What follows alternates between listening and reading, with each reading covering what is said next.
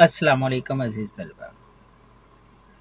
आज हम chapter number one, exercise 1.1 शुरू कर रहे हैं। क्वेश्चन नंबर वन है कि आपको कुछ मैट्रिसेस दिए गए हैं। आपने इन मैट्रिसेस के ऑर्डर मालूम करने हैं। तो सबसे पहले हम समझते हैं कि ऑर्डर क्या होता है।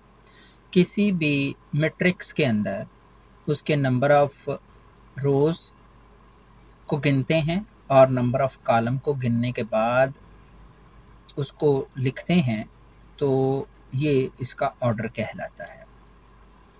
तो हम इन मैट्रिसेस के ऑर्डर मालूम करते हैं। जैसे देखिए ए है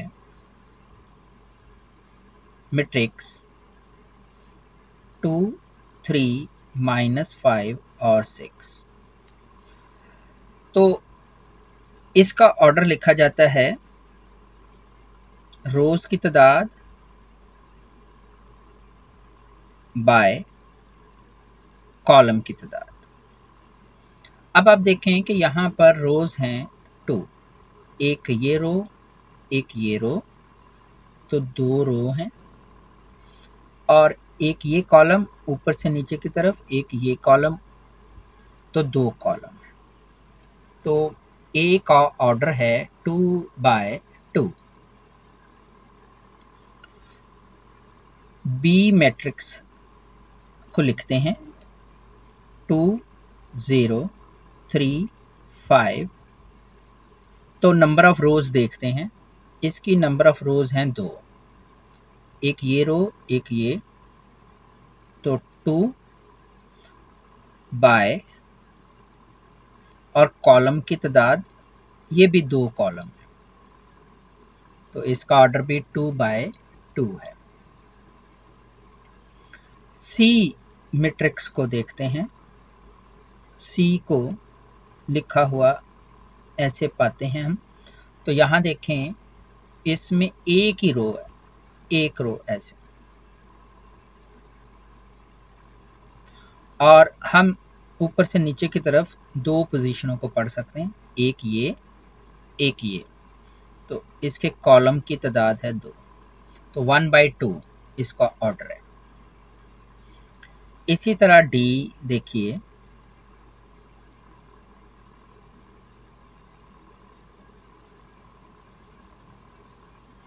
डी में है फोर ज़ीरो सिक्स तो इसमें देखें, ऐसे हम इसको तीन नंबर पढ़े जा सकते हैं, ऐसे। तो ये रोज हैं इसकी तीन। और ऊपर से नीचे की तरफ़ ये एक ही कॉलम नज़र आ रहा है, बन रहा है। तो वन तो थ्री बाय वन डी का ऑर्डर है। नेक्स्ट है E e.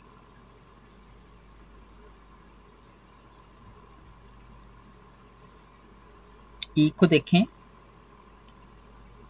A B C D E और एफ़ तो इसके ऑर्डर के लिए आप इनको तीन रोज की फॉर्म में पढ़ सकते हैं. ऐसे एक दो और तीन।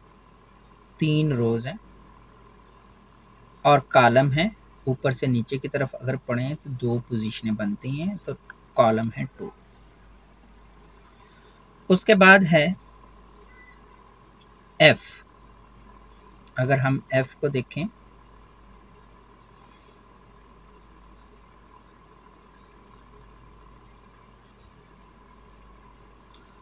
तो रो वाइज अगर हम इसको पढ़ें तो ऐसे ए की रो बनती है।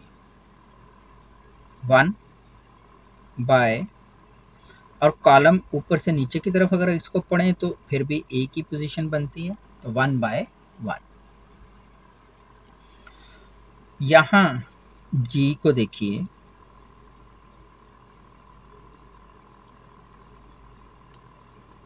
टू थ्री ज़ीरो ये पहली रो है। फिर वन, टू, थ्री, ये दूसरी रो है।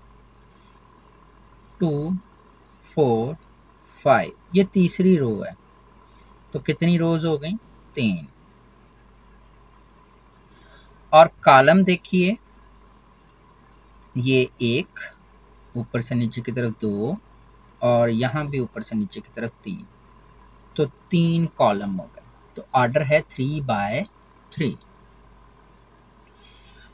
एच को देखें। एच लिखा हुआ है हमारे पास टू, थ्री, फोर। ये पहली रो है। One, zero, six. ये दूसरी रो है। तो दो रोज हैं। और ऊपर से नीचे की तरफ़ अगर हम देखें तो तीन अलहदा अलहदा पोजीशनें हैं।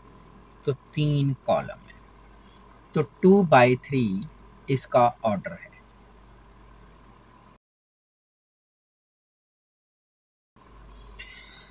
एक्सरसाइज है 1.1 क्वेश्चन नंबर टू है। स्टेटमेंट है क्वेश्चन की which of the following matrices are equal नीचे दिए गए कौन कौन से मैट्रिसेस इक्वल हैं? तो इक्वल मैट्रिसेस के लिए सबसे पहली शर्त ये है कि उनके ऑर्डर सेम होने चाहिए। तो हमें तमाम मैट्रिसेस के ऑर्डर पहले मालूम करने चाहिए। तो हम तमाम मैट्रिसेस के ऑर्डर मालूम करके लिख दें ए में देखें, एक रो है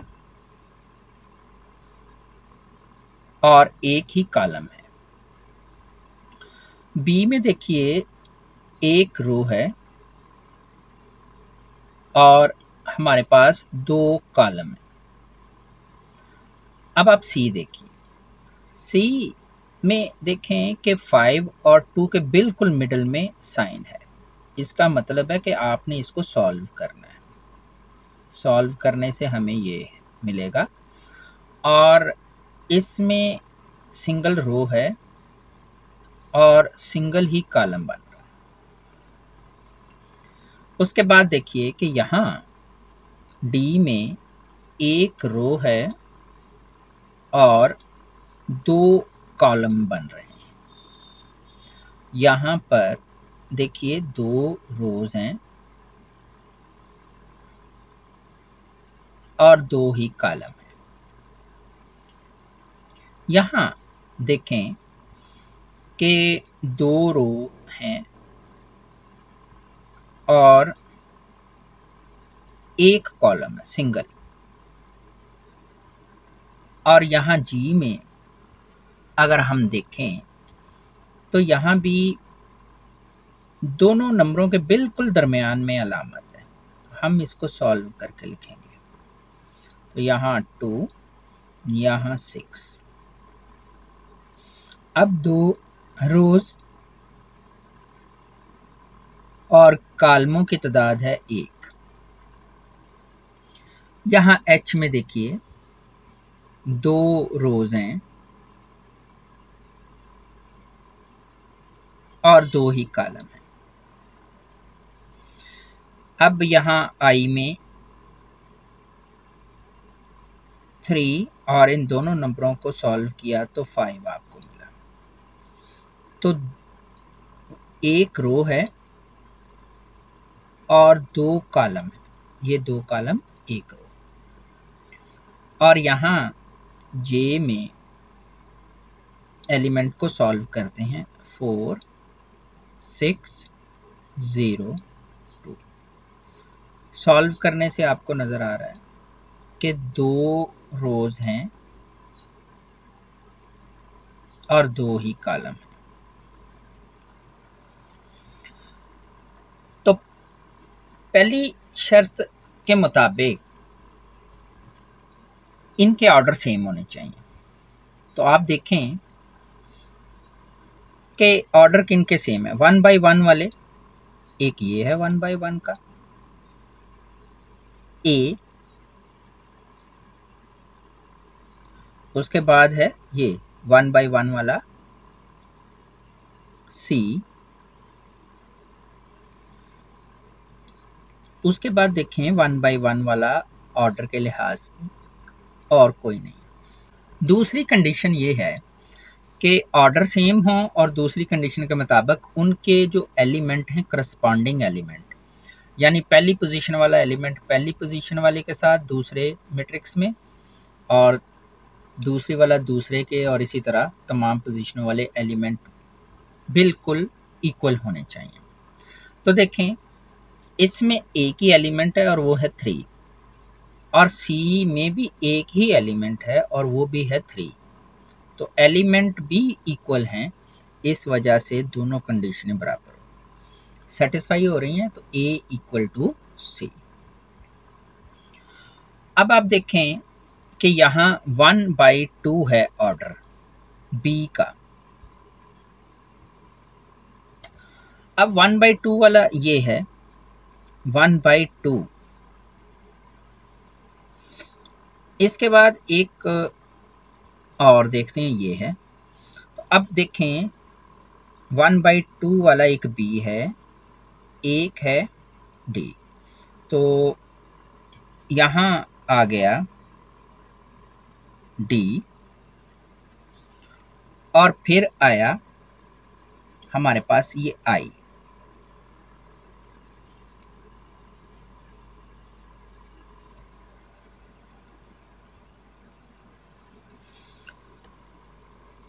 इस लिहाज से आप चेक करें कि इनके ऑर्डर तो सेम हो गए, अब एलिमेंट भी एक जैसे होने चाहिए। तो देखिए बी का पहला एलिमेंट है थ्री जबकि डी का है फाइव तो ये बराबर नहीं है। तो ये बराबर नहीं हो सकते। इसका मतलब है बी और डी बराबर नहीं हो सकते। अब बी को चेक करते हैं आई के साथ। इसका पहला एलिमेंट थ्री थ्री ठीक है जी। अब दूसरे एलिमेंट की तरफ़, यहाँ फाइव यहाँ फाइव दोनों एलिमेंट भी इक्वल हैं ऑर्डर भी सेम है। तो इसका मतलब हुआ बी इक्वल हो गया आई के। अब आई जो है वो डी के इक्वल नहीं हो सकता, क्योंकि आई का पहला एलिमेंट है थ्री और इसका है फाइव अब देखें कि हमारे पास ये ये ये और ये हमने अब आते हैं टू बाय टू मैट्रिसेस की तरफ़। तो पहले मैट्रिसेस देखते हैं जिनके आर्डर टू बाई टू हैं। पहला मैट्रिक्स है ई e, दूसरा मैट्रिक्स टू बाई टू के साथ एच और तीसरा मैट्रिक्स है जे अब ये तीन मैट्रिसेस हैं। अब हमने ये चेक करना है कि क्या ये तीनों एक दूसरे के इक्वल हैं या इनमें से जो इक्वल हैं वो कौन से हैं? तो देखें ई e में पहला एलिमेंट है फोर एच में भी फोर और जे में भी फोर ठीक है? दूसरे एलिमेंट की तरफ़ चलते हैं ज़ीरो इसका ज़ीरो इसका भी ज़ीरो दोनों एलिमेंट सही तीसरे एलिमेंट की तरफ़ देखते हैं सिक्स है, इसका सिक्स इसका भी सिक्स तीनों एलिमेंट बराबर आ गए। फोर्थ एलिमेंट की तरफ़ देखते हैं, टू टू तो चारों एलिमेंट भी बराबर है। ऑर्डर भी सेम और एलिमेंट भी सेम। इसका मतलब है कि ये तीनों मैट्रिसेस एक दूसरे के इक्वल हैं। तो हम इनको इस तरह लिख सकते हैं।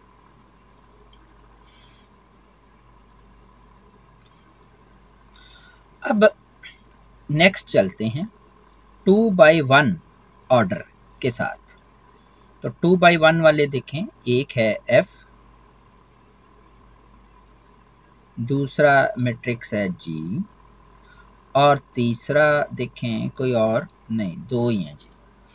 अब इनके एलिमेंट को भी चेक करते हैं कि पहला एलिमेंट टू इसका भी टू इसका पहला एलिमेंट सिक्स दूसरा एलिमेंट सिक्स इसका भी दूसरा सिक्स एलिमेंट भी इक्वल हैं। आर्डर भी सेम है। तो इस तरह हम कह सकते हैं F is equal to G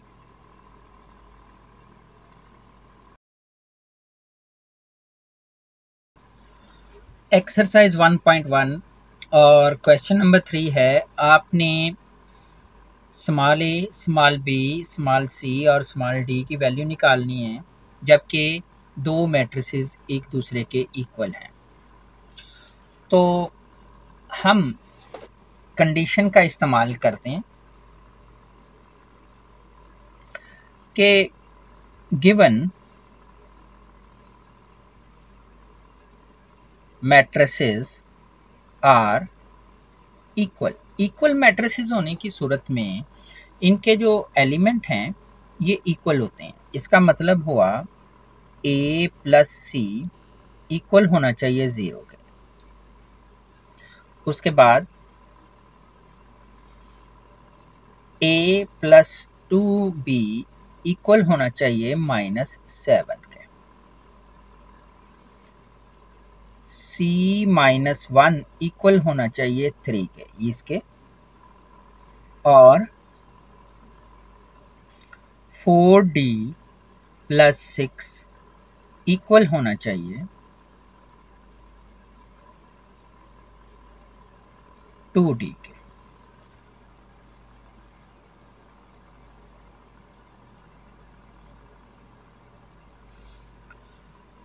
अब आप देखें कि यहाँ से हम ए की वैल्यू निकाल सकते हैं जो कि इक्वल है सी के, या यहाँ इस इक्वेशन में देखें कि सी की वैल्यू आसानी से निकल आएगी। तो थ्री प्लस वन। ये इधर चला गया और सी की वैल्यू आ गई फोर। अब सी की ये वाली वैल्यू हम यहाँ पुट करते हैं। Putting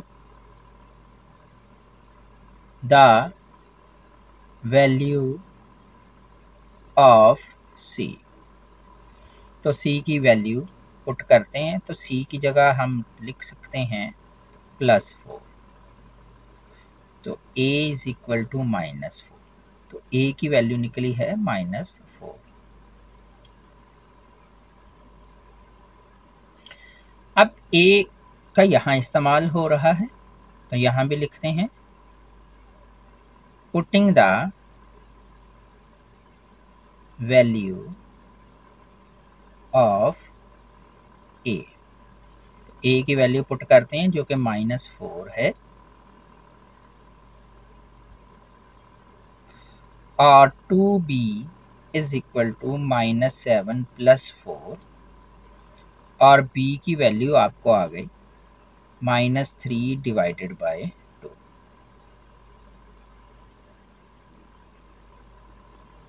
अब यहाँ देखें कि four D minus two D plus six equal to zero ये टू डी हम लेफ़्ट साइड पर ले आए। तो two D is equal to minus six ये सिक्स राइट साइड पर ले गए। और d is equal to minus six over two d is equal to minus three